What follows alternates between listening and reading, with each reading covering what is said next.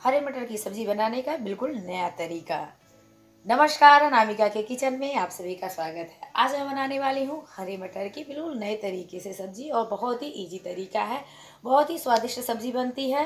तो चलिए बनाना स्टार्ट करती हूँ। सबसे पहले यहाँ छिला हुआ हरा मटर मैंने ले लिया है तो इसे मिक्सर जार में डाल देना है।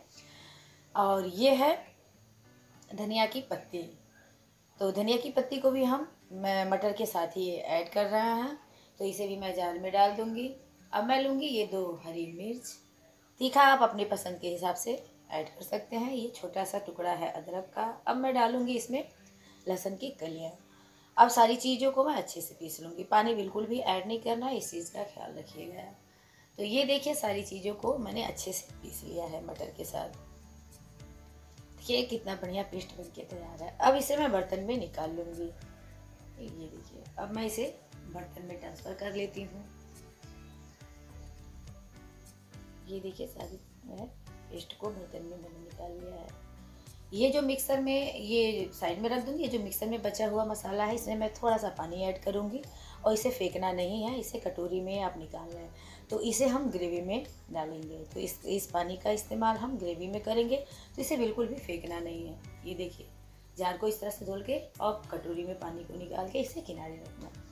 अब मैं इसमें मसाले ऐड करूँगी जो पिसा हुआ मटर है। तो ये है एक कटोरी बेसन। जी हाँ एक कटोरी बेसन है और ये बारीक कटा हुआ प्याज और एक हरी मिर्च है। तो हरी मिर्च आप जितना तीखा खाना पसंद करते हो तो तीखा आप अपने हिसाब से ऐड करें। और मैंने प्याज बहुत ही बारीक कट किया है तो बहुत ही बारीक इसमें प्याज ऐड करना है। आप स्किप भी कर सकते हैं। अब मैं इसमें ऐड कर देती हूँ नमक। तो इसमें बहुत ज़्यादा मसाले का मैंने यूज़ नहीं किया है।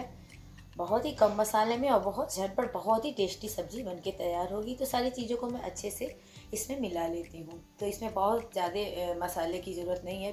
प्याज आप स्किप कर सकते हैं। ज़रूरी नहीं है कि प्याज आप डाल के ही बनाएँ। बिना प्याज के भी लहसुन, अदरक और हरी मिर्च का पेस्ट इसमें पर्याप्त है। तो ये देखिए, बन चुका है। अब मैं चलती हूँ कढ़ाई के पास। तो यहाँ मैंने गैस पर कढ़ाई रखा है। आप कोई भी गहरा बर्तन ले सकते हैं। पानी उसमें डालिए और ये ग्रेवी के कुछ हम ग्रेवी की तैयारियाँ कर लेते हैं।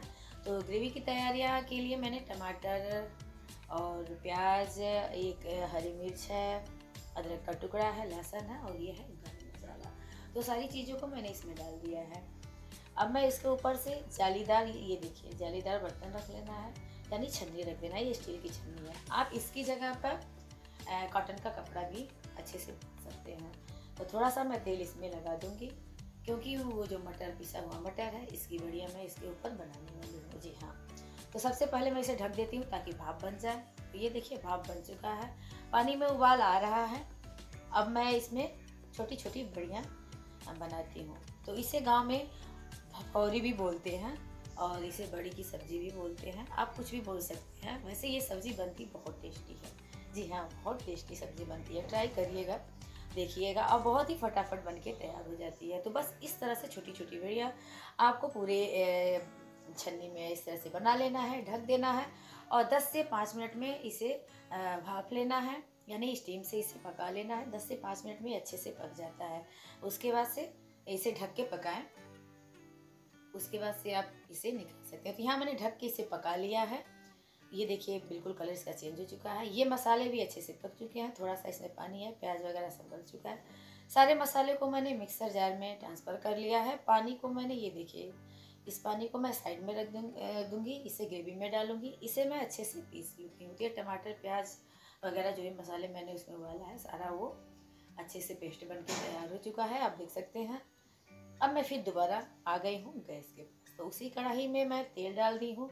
अब मैं डाल देती हूँ जीरा। ये है हींग। तो तड़के में आप जीरा हींग ही डालें, मिर्ची बहुत ज़्यादा ना करें। मिर्ची मैंने पहले से बहुत ज़्यादा ऐड कर दिया है। अब मसाले को सीधे इसमें डाल देना है। जी हाँ। तेज़पत्ते वगैरह का अगर आप यूज़ करना चाहते हैं तो आप इसमें डाल सकते हैं। वैसे मैंने इन सब चीज़ों का बिल्कुल भी यूज़ नहीं किया। बहुत ही सिंपल तरीके से मैं आपको बता रही हूँ। और बहुत ही ईजी तरीका है। इससे फटाफट जो सब्ज़ी है आपकी बन के तैयार हो जाएगी बिना किसी ताम झाम के। तो ये देखिए, ये जो है ग्रेवी अच्छे से उबाल होना अब मैं कुछ इसमें ड्राई जो है सूखा मसाला जो है ऐड कर देती हूँ, जैसे कि हल्दी मैंने नहीं ऐड किया था। हल्दी मैं इसमें ऐड कर देती हूँ और मिक्स मसाला। तो मिक्स मसाले में मैं हमेशा मिक्स मसाला रखती हूँ, जैसे जिसमें कि जीरा, धनिया पाउडर वगैरह होता है, काली मिर्च वगैरह। तो अलग से ये सब चीज़ें डालने की ज़रूरत नहीं पड़ती है। नमक की क्वांटिटी आप अपने हिसाब से रख सकते हैं। थोड़ा सा मैं इसमें लाल मिर्च डाल देती हूँ तो ये लाल मिर्च है। इसलिए मैं बहुत कम डालती हूँ, ये बहुत तीखा होता है। आप इसकी जगह पर काश्मीरी मिर्च भी ऐड कर सकते हैं, वो कलर के लिए होता है। तो मैं यहाँ केवल लाल मिर्च का मैंने थोड़ा सा यूज़ किया है। ये पिसा हुआ जो मैंने ये पानी निकाला था मटर का, उसे भी मैं इसमें ऐड कर देती हूँ। तो मसाले को अच्छे से भून लेना है। मसाला जितना अच्छा आपका भुना रहेगा आपकी जो ग्रेवी है, उतनी अच्छी तैयार हो जाएगी। तो ये देखिए कितने अच्छे से मैंने मसाले को भून लिया। क्वांटिटी कम हो चुकी है। ये टमाटर का जो मैंने वाला था, वो पानी है, उसे भी मैं इसमें ऐड कर देती हूँ। पानी आप ग्रेवी की जो क्वांटिटी है, आप अपने हिसाब से कम या ज़्यादा पानी इसमें ऐड कर सकते हैं। किसकी क्वान्टिटी कितना रखना है? तो यहाँ मैंने पानी ऐड कर दिया। अब मैं इसमें उबाल आने देती हूँ। तो उबाल बहुत ही अच्छे से आने दें। जब तक ग्रेवी अच्छे से ये उबलना जाए पकना जाए तेल जो है ऊपर आना जाए, तब तक आप इसमें बड़ियों को ना डालें। तो यहाँ देखिए, तेल ऊपर आ चुका है। ये जो ग्रेवी है, अच्छे से पक चुकी है। अब मैं इसमें बढ़िया डाल देती हूँ मटर की। तो इसे डालने के बाद बहुत ज़्यादा देर तक गैस पे कढ़ाई को नहीं रखना है। इस चीज़ का आप ध्यान रखिएगा बहुत ही मतलब इसे डालने के बाद एक दो मिनट आप इसे चला के उसके बाद से इसे उतारना, बहुत ज़्यादा समय तक गैस पर कढ़ाई को ना रखें। तो इसे डालते समय गैस की जो फ्लेम है, बिल्कुल लो रखें। जी हाँ लो रखें। सारी बड़ियों को मैंने डाल दिया है, यहाँ देख सकते हैं आप। अब मैं इसे चला लेती हूँ, अच्छे से ग्रेवी में मिला देती हूँ, ताकि मसाले जो हैं अच्छे से इसमें बड़ियों में मिक्स हो जाएँ। और ये देखिए फटाफट स्वादिष्ट, टेस्टी सब्ज़ी बनके तैयार हो गई है। अब मैं इसमें थोड़ा सा धनिया की पत्ती ऐड कर देती हूँ, इसे भी मैं चला दूँगी। तो धनिया की पत्ती का जो स्वाद है, बहुत ही अच्छा लगता है और बहुत ही कलरफुल देखने में भी सब्ज़ी बहुत अच्छी लगती है। तो ये देखिए, इसे भी मैं मिला देती हूँ। इस रेसिपी को ट्राई ज़रूर करिएगा वीडियो पे नया है तो चैनल को सब्सक्राइब कर लें। वीडियो अच्छी लगे तो लाइक से कमेंट ज़रूर करिएगा। तो अब मैं इसे बर्तन में निकाल के आपको दिखाती हूँ। तो ये देखिए, गैस को बंद करके मैंने थोड़ी देर के लिए इसे ढक दिया था।